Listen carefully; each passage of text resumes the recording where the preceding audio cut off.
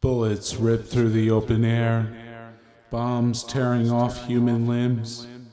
The more dead, the better. Blood oozing from open wounds, careless, fruitless, endless slaughter, like pigs lined up to make bacon. Flesh rotting and decaying. The smell of death permeates the air. It's in the sand, in the water.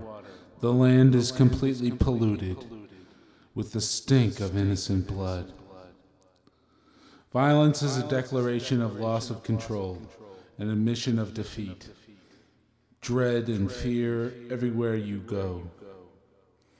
The guilt of this bloodshed is in the voting booth. Its stain is not going away. Death upon death, grave upon grave, generations of innocent death in your perpetual war. Cluster bombs, Apache helicopters, missile launchers, tanks, uh, atom bombs cannot save you now. It is war you freely chose. It is by war you will die. War cannot be considered a rational way of solving world problems anymore. It will not be forgiven. It is an act that needs to be condemned by all of humankind forevermore.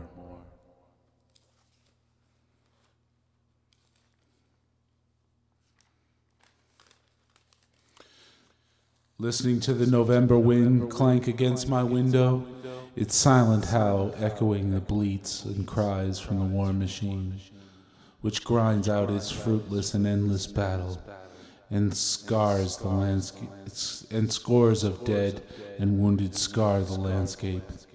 Against this is the words whose cleavage is too small, and dress a bit too revealing to bring about anything but more antagonism. Exasperated in lonely desire and with painful imputatory bowels, I face the music, in this case Cecilia Bartoli's singing Mozart. How cozy it is for me to cast my shadow against the war, war itself a dark phantom who dwells far away. Only the wind echoes its pitiless cry. And here at home no one feels any of its pain. Business as usual, stocks up, SUVs have plenty of gas, cell phones fully charged, and no delays on the commuter train. Oh, the beauty of Mozart casts away fully war's plagues and misery. Besides, the war isn't real. The shooting only happens when you turn on the TV. How can they shoot when Cecilia's singing? So I'll just keep the poems and music coming on taking only brief cat naps, and all the war will have to cease. The presidential candidates talked about winning a lasting peace through war. Is this not as ridiculous as my proposition to Mozart the war away? How can you win peace by waging war? War only begets more war, and more war, it begets more war. Bereft of wisdom, the machine plods on, spilling blood more and more. Pain grows keenly as I drift to the beauty of Mozart and Bartoli's voice.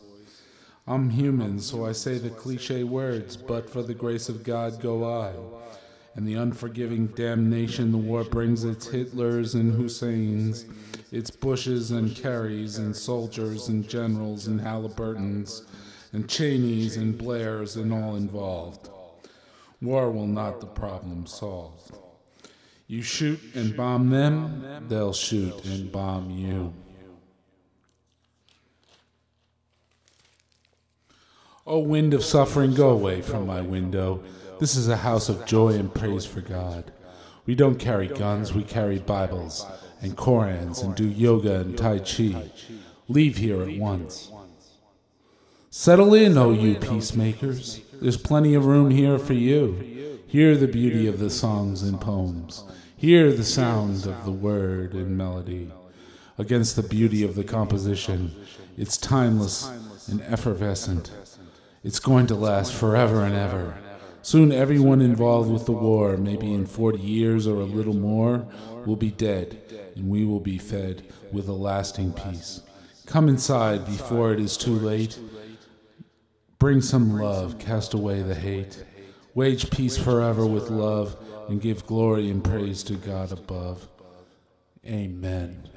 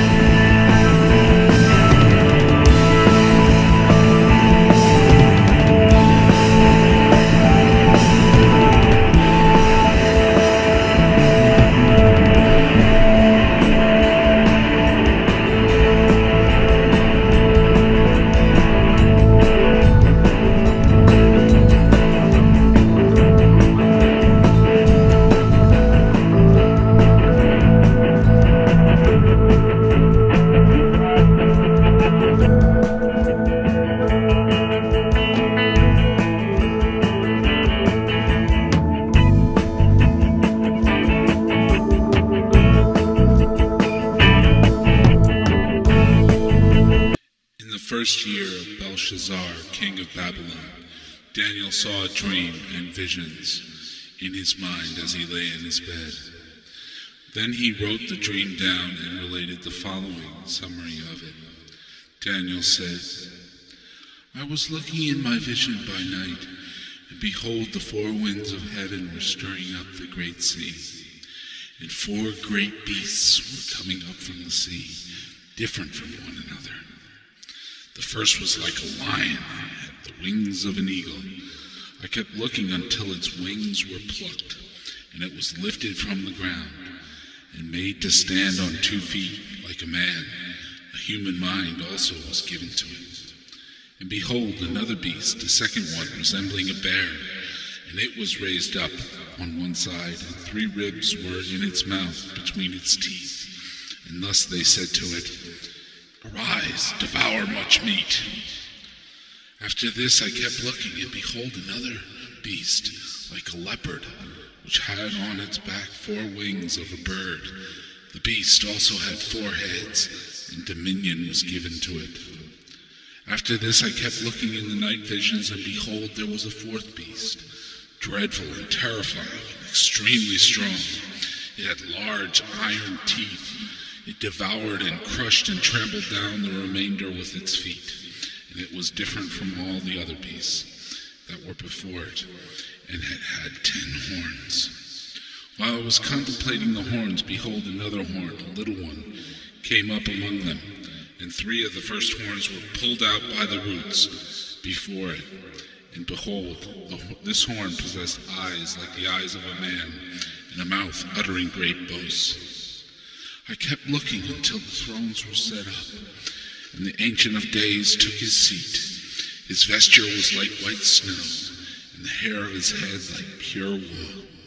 His throne was ablaze with flames. Its wheels were burning fire. A river of fire was flowing and coming out from before him. Thousands upon thousands were attending him, and myriads and myriads were standing before him. The court sat, and the books were open. Then I kept looking because of the sound of the boastful words which the horn was speaking. I kept looking until the beast was slain, and its body was destroyed and given to the burning fire.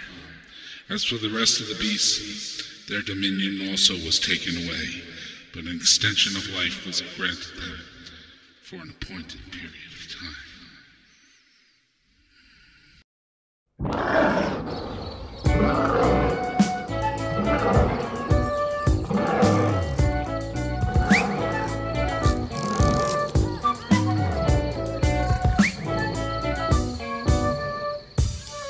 Walking through forests of palm tree apartments, scoff at the monkeys who live in their dark tents. Down by the water hole, drunk every Friday,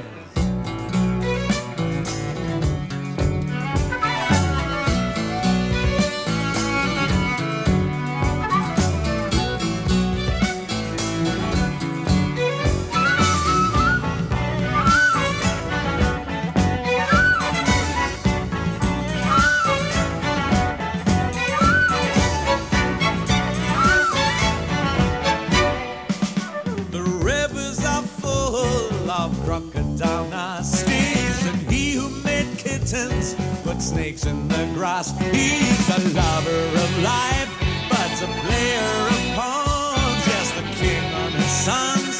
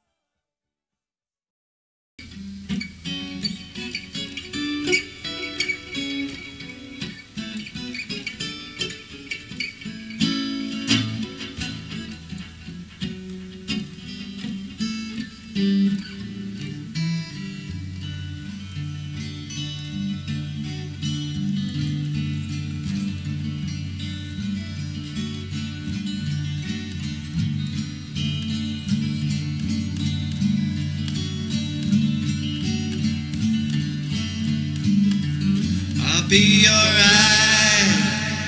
I'll be alright. Be alright someday. Deep in my heart, do you believe I'll be alright someday?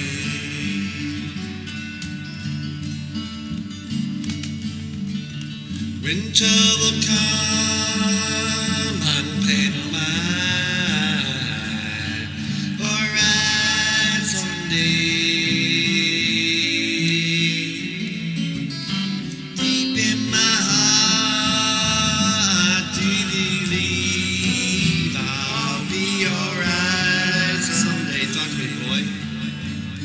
bad lesson.